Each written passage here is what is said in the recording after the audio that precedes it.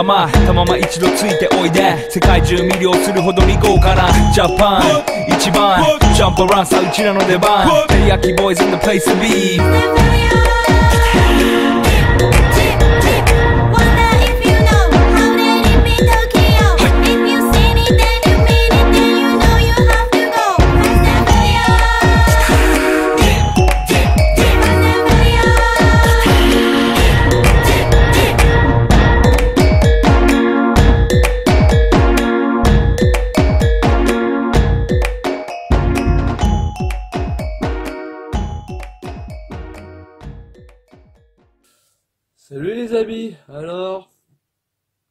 qu'est-ce qu'on va faire aujourd'hui ah, On vous parler de ça.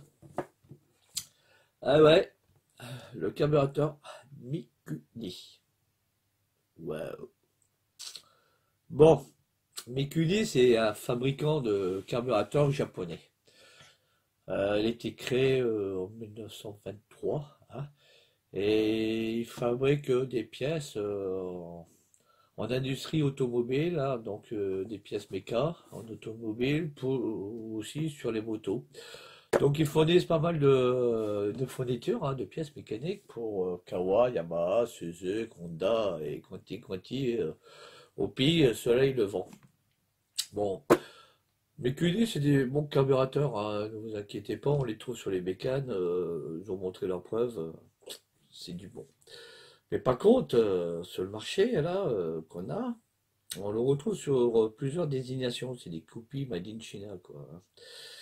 Euh, déjà à l'origine, c'est des carburateurs de type Kenning.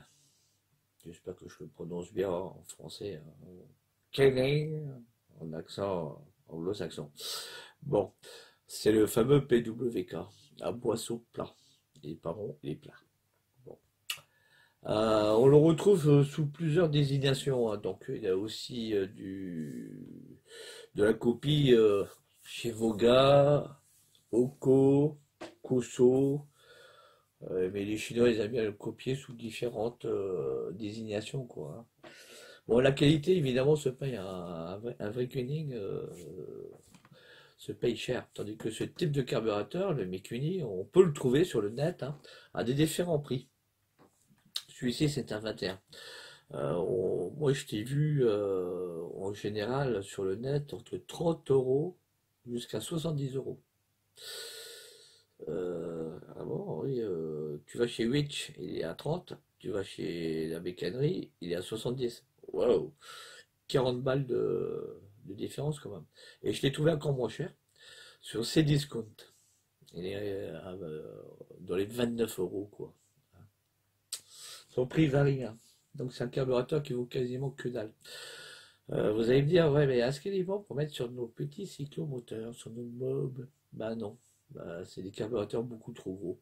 C'est plus du carbu euh, prévu pour des bécanes type euh, minimum 125 hein, ou grosse config euh, 80. Ah, parce que quand vous allez voir la bête, il est disproportionné, c'est un monstre. Je vais vous faire un comparo aussi avec d'autres carburateurs sur un autre fabricant. hein. Je vous dis pas, euh, vous connaissez ma religion en, matière de carburateur. C'est pas Delarto, hein. Non, non, c'est l'autre là, le, le. On fera des comparos. Bon, bah on va on va le sortir, on va faire sa biopsie, hein, on va le déballer. Voilà. Quand vous allez voir le bébé, vous allez dire c'est pas possible. Ici, hein. le monstre, le monstre, un monstre. Voilà la bête. Immense, immense. Allez-y, logez-moi ça sur un cadre de mobilette, surtout sur un 103. Vous savez, le, cadre en V. Il aura du dur. Sur une Vogue, je veux bien, mais il touchera en haut. Donc prévoyez votre pipe de départ à 90 degrés et foutez-le hors du cadre. À la rigueur, il va marcher, ça c'est sûr. Comme sur les motomécanes, hein. Pouf, foutez-le dehors. Il va mieux respirer, comme on dit. Mais foutre ça en, dessous, euh, dans un cadre, ça passera pas. Bah, je vais vous donner ces mensurations au bébé. Tiens, j'ai mon pied à coller, ça. Made in China sous- aussi. Bon, allez, on va le mesurer. Sa hauteur totale déjà.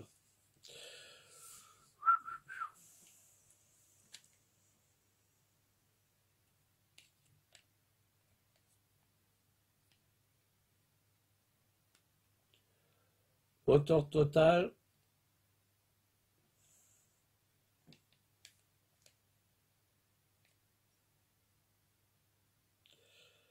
Il est à 15 centimètres.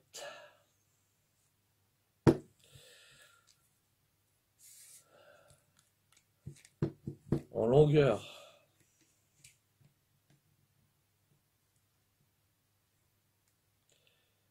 Il est à 8 centimètres. 2. Sa largeur.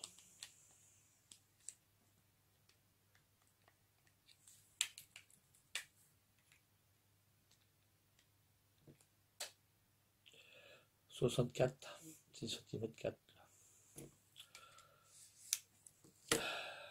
C'est quand même un beau monstre, regardez bien.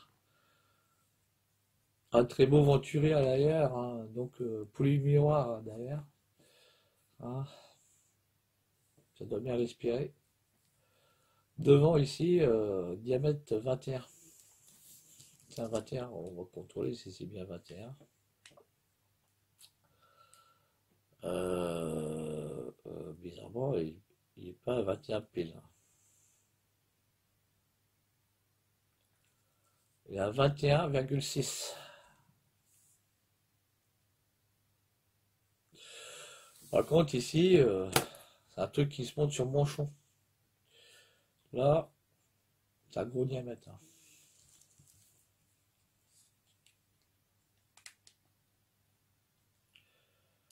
Bah, il est... Il me donne pour...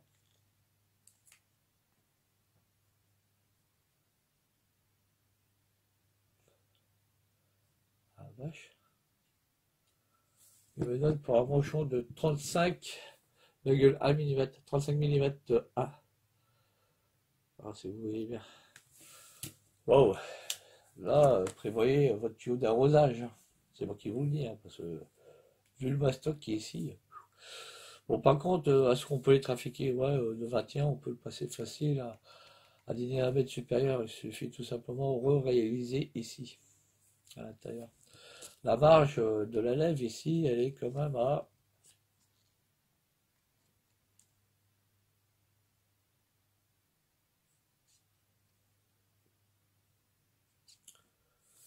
six virgule six millimètres. 6,6 mm. Donc on peut encore le réaliser et lui donner euh, un diamètre plus gros. Bon, autrement, c'est un carburateur simple au montage, hein, donc euh, sa biopsie va être vite fait, hein, vous allez voir. Ici, de chaque côté, aux extrémités, là, on a les prises d'air de dépression, hein, atmosphérique. hein. C'est pour réguler la pression d'air euh, dans la cuve, que euh, l'essence circule. Ici, bon, bon, on a notre arrivée euh, d'essence, hein, donc euh, prévoyez une durée de 2C, c'est ici. Ici, nous avons le Power Jet, hein, le système Power Jet. Une vraie merde pour les régler, ça je peux vous le dire. hein. Donc on aime ou on n'aime pas, si vous voulez vous amuser. Il suffit tout simplement de visser ou dévisser la petite vis qui est au-dessus, pour donner l'effet jet, pouf, on booste. Mais ça marche en haut régime, pas en bas régime, donc ça sert à rien. Généralement on les chatte, hein. Tout simplement, ici, hop, on ferme, on pince. Et l'autre côté aussi, pour pas être emmerdé. On les pince, donc on les règle pas. Euh, sinon, ça fait une trop grosse merde euh, dans le réglage du carbu. Euh, ici, euh, nous avons la vis euh, de réglage euh, du ralenti, hein, du boisseau. hein, ici, cette fameuse vis qui est ici. Autrement, on a aussi la vis de réglage. Ici, comme c'est une vis euh, arrière, c'est euh, la vis de richesse, vous savez, quantitative d'air. Comparé chez Delorto, ils sont devant. euh, richesse quantitative, carburant. Donc les réglages sont pas tout à fait pareils. Le principe aussi n'est pas tout à fait pareil. Là, on enrichit en air, tandis que Delorto enrichit en carburant. C'est pas pareil. Euh, après, on peut jouer en fonction de nos éjecteurs, si c'est des éjecteurs plus petits ou plus gros. Généralement, quand c'est comme ça, c'est l'inverse. C'est inversé comparé à Delorto. Au lieu de rajouter, on diminue. Angiocycle principal. Voilà. Bon, bah là, on va le dépioter, hein, tranquille pilote. On va ouvrir son ventre. Bon, euh, il y a un truc qui est pas mal ici. Il a le bouchon de fond de cuve, hein, comme tous les carburateurs de type Racing. hein, voilà. Là, on démonte et on y accède directement au gicleur principal. Euh, là, on va le démonter. hein, donc, on va voir un peu euh, le cœur des entrailles du carburateur. Ici, le, le petit trou ici, là, c'est le trompe-là. Voilà. Bon, ici, on a une petite vis type BTR, hein, donc euh, montée avec uniquement que deux vis sur la cuve, pas quatre, deux. Voilà.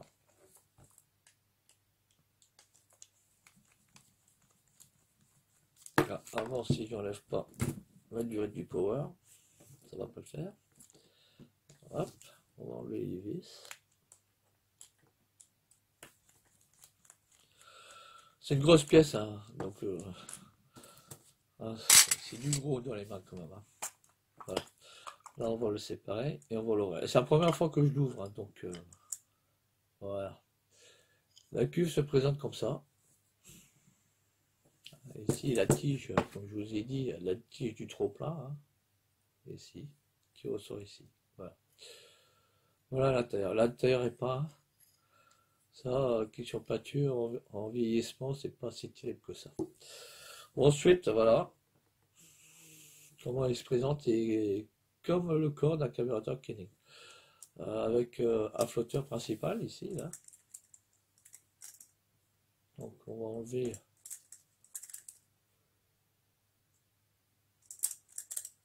Il n'y a pas là ma petit Lulu qu'on va enlever son axe. Voilà. Tac.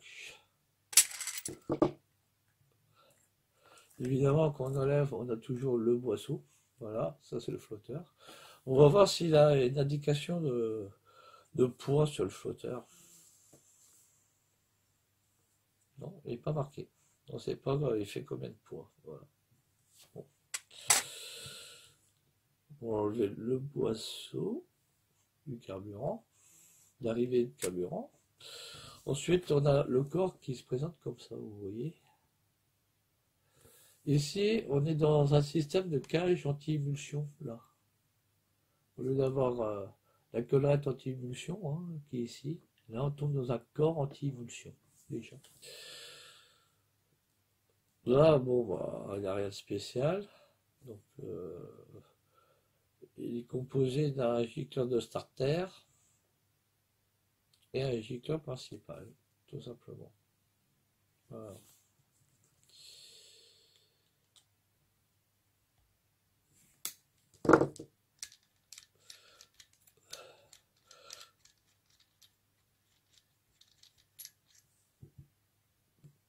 Voilà. Le diffuseur, hein. C'est bête parce que sur le diffuseur, il n'y a rien qui est marqué. Donc, euh, c'est pas comme chez Delarto ou Pouligny, euh, tout est marqué. On sait quel diffuseur à, qui qu'on a affaire. Donc là, il n'a aucune indication. C'est comme sur le euh, principal, aucune indication. Euh, ensuite, euh, qu'est-ce qu'on pourrait bien dépioter? Passe-moi un petit tournevis. Non, celui-ci va pas faire l'affaire. Non, celui-ci va pas faire l'affaire. On va voir.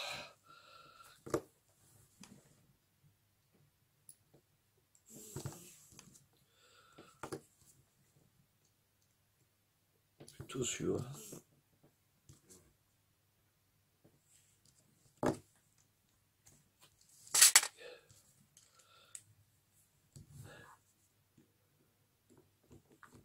Gicleur de start. En fin de compte, c'est plus le gicleur euh, de ralenti. Ici, là.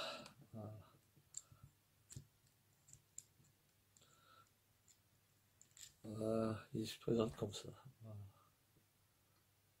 Par contre, là, on a une indication. Hein.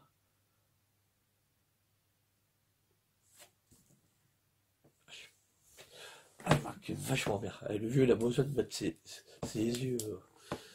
Ah, vache. 38. c'est du 38.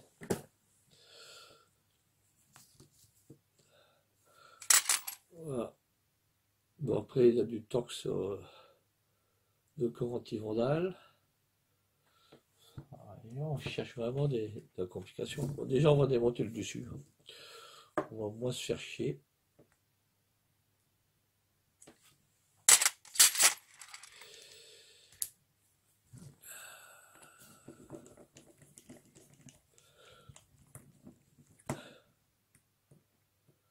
Vous démontez vos chapeaux là, de, de boisseau ici, là, mettez quand même votre pouce là en dessous. Là. Ça évite que le ressort vous saute à la gueule. Hein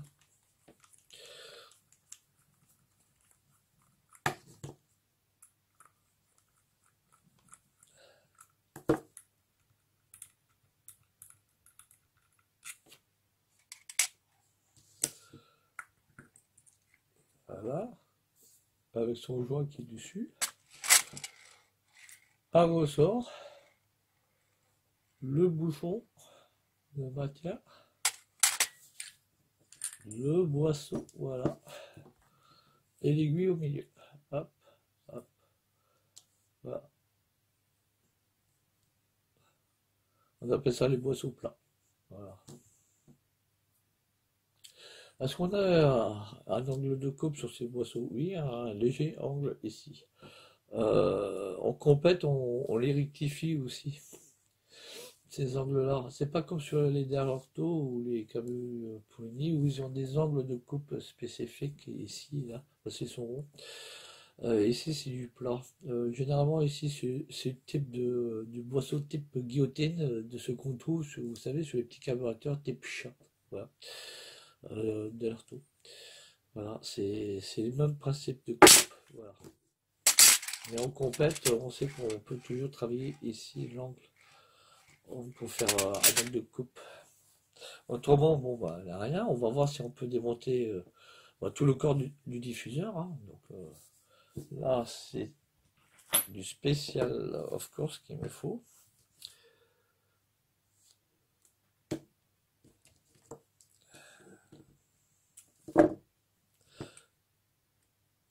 Et bah, trop gros, vois. Donc il va falloir que je prenne la note. Voilà. C'est du tip torx avec un trou au milieu. Là.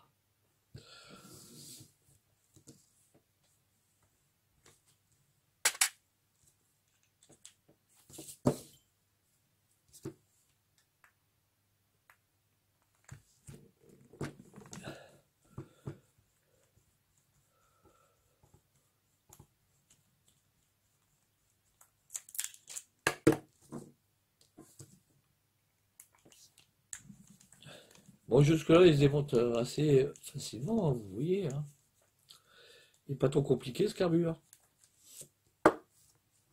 Voilà.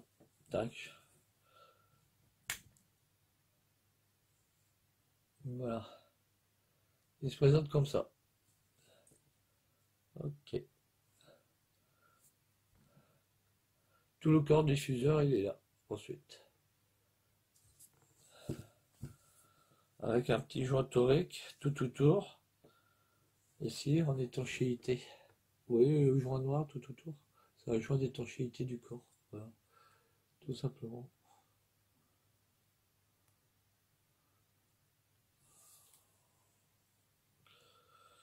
C'est une pièce en aluminium. hein.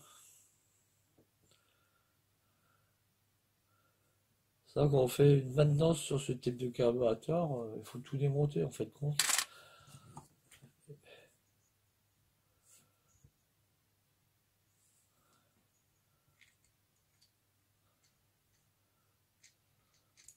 Voilà, donc ça se présente sur un bloc aluminium comme ça. Voilà. Autrement, un spécial, hein, donc la vis du boisseau, on va le démonter là.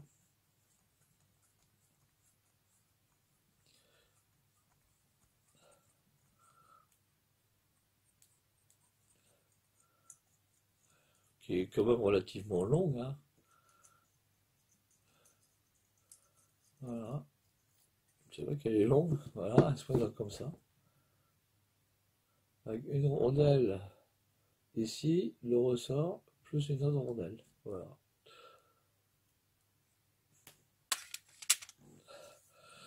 Autrement, bon, la vis ici de réglage qu'on va démonter. On va voir comment elle se présente. hein.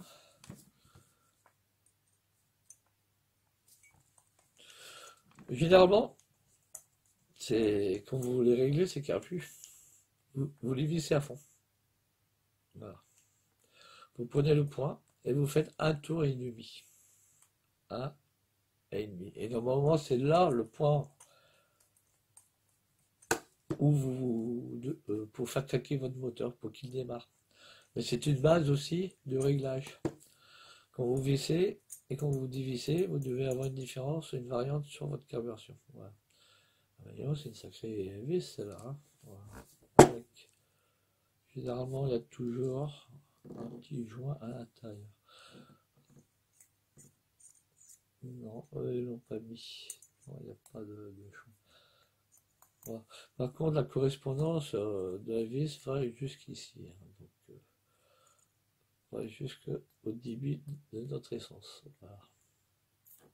Oui, ça va un peu plus loin. Voilà. Par contre, euh, c'est un petit carburateur, heureusement que je le démonte, que je le contrôle, que je le vérifie.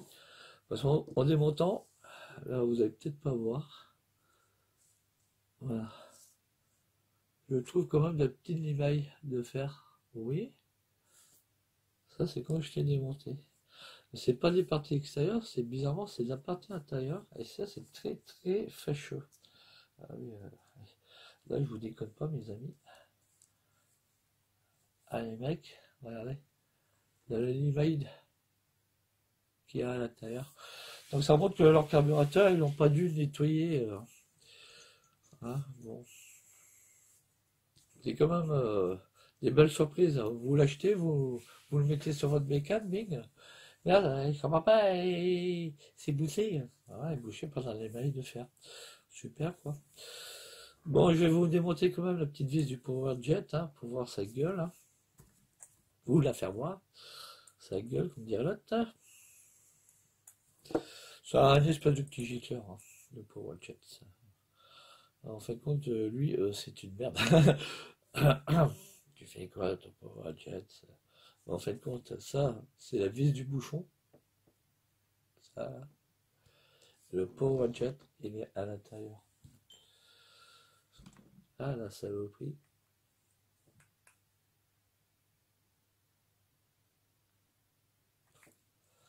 Je comprends pourquoi que tout le monde ne réussit pas à les régler, parce que ça se règle en hauteur, ces merdes-là. Ah, putain, oui.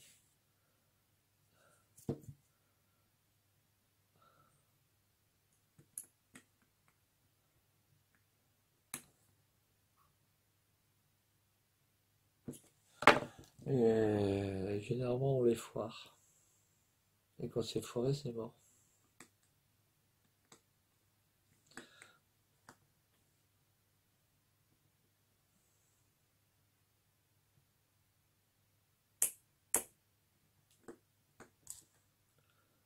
Alors, faudrait, je vais pas l'avoir.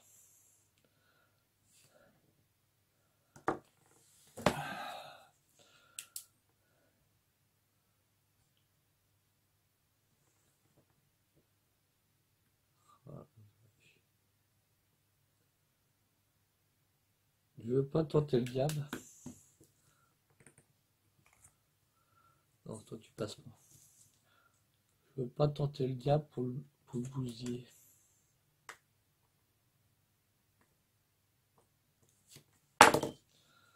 Comme le carbu il est pas à moi, euh, donc euh, j'ai pas envie de bousiller ce carbu. On, va, on va le laisser. Vaut mieux le laisser avant, avant de le détruire. Voilà. Voilà le carbu. Bon, bah, rien de spécial. Donc, avec euh, son starter. Euh, starter, il est, il- est en plastoc. hein, donc, euh, voilà. C'est un corps euh, en plastique ici pour le starter.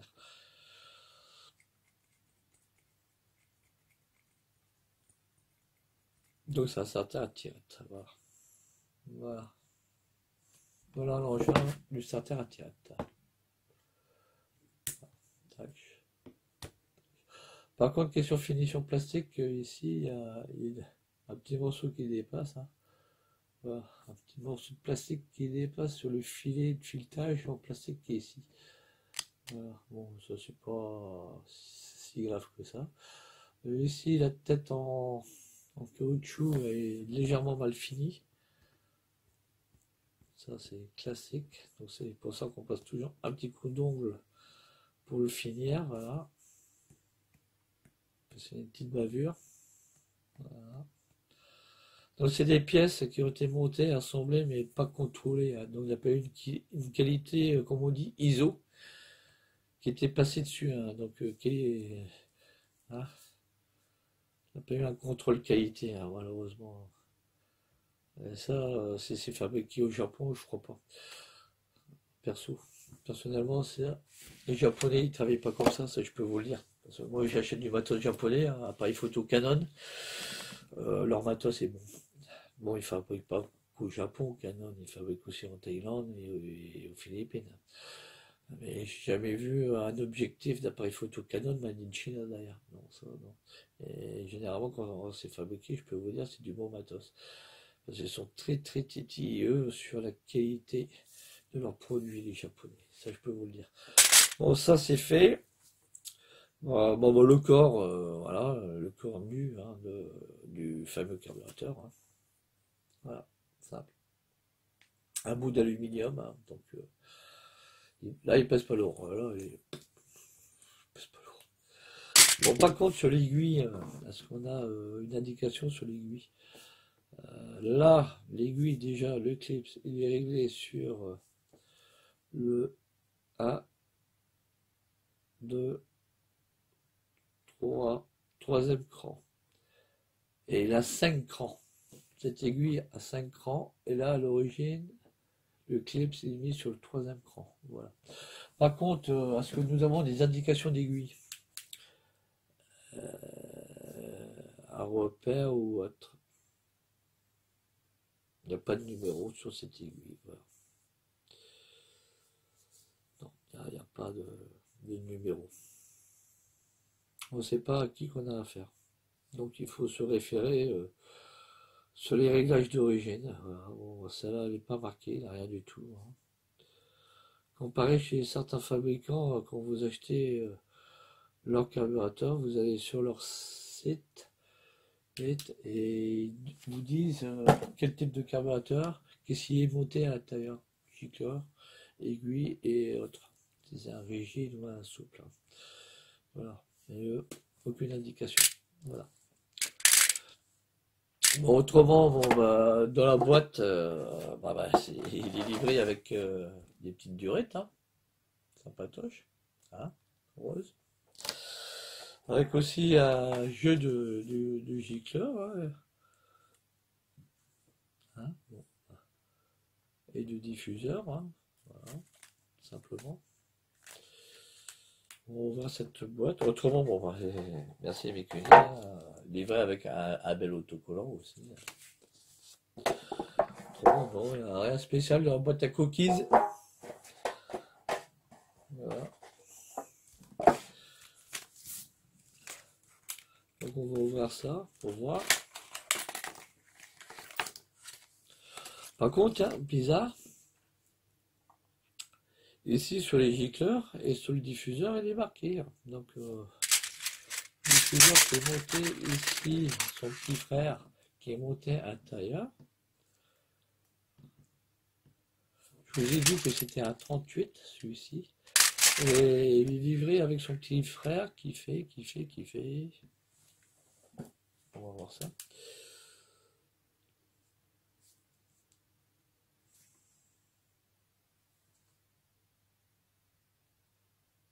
Trente-cinq. Son petit frère fait à 35. Voilà.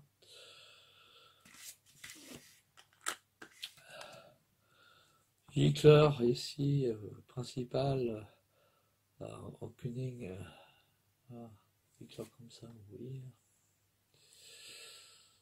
Euh, là, on, a un 115. Là, on est en 110 celui de véhicule qui est monté, on va voir que ceci. Euh, là.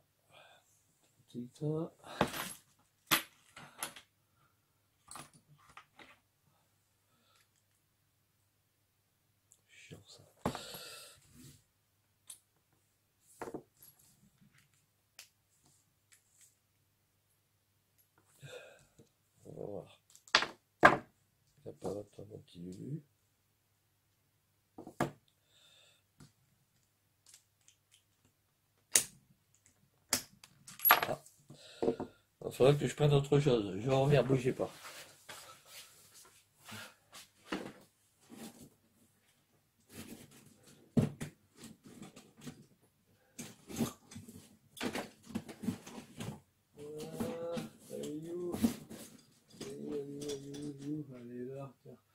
On va prendre ça par exemple. C'est tout. Hop.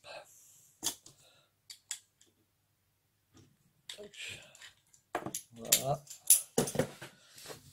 Et on va voir quel éclat qui est monté.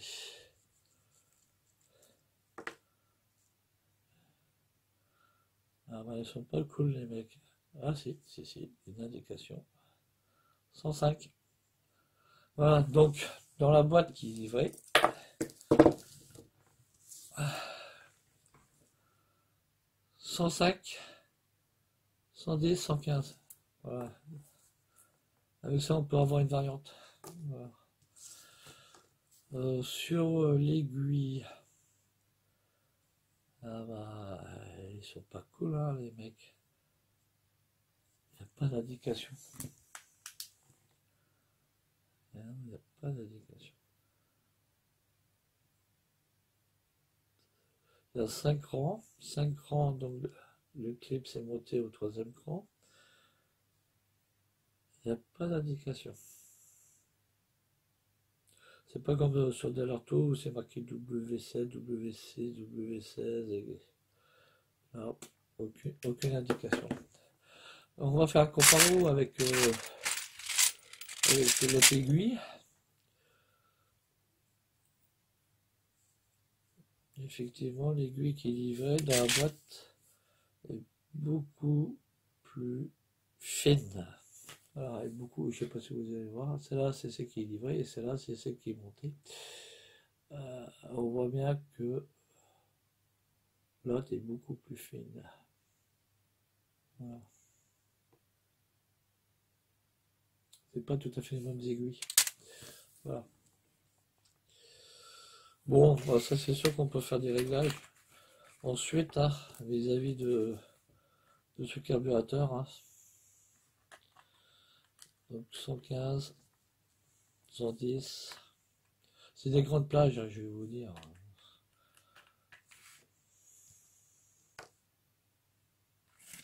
C'est de la grande plage, voilà. Voilà les amis, bon, bah, on a fait une petite biopsie du carburateur euh, hein, euh, le fameux carbu hein, que moi personnellement euh,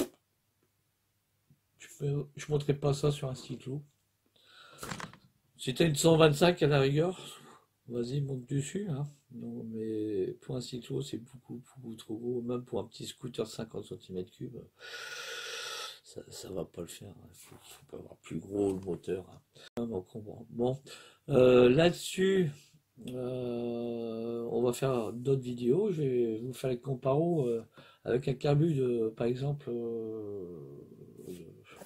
chez Poulini. hein, j'ai- je vais vous les faire voir tout à l'heure. Allez, ça sera dans, dans une prochaine euh, aventure. Allez, mes amis, à tout à l'heure. Bisous.